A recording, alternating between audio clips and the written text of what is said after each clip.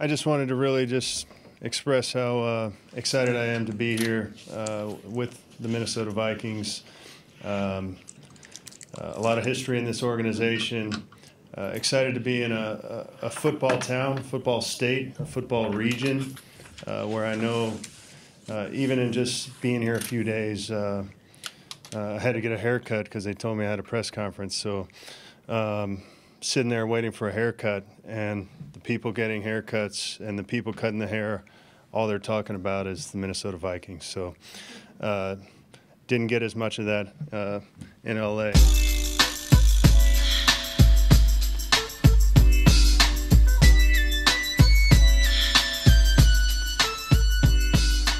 One, two, three, and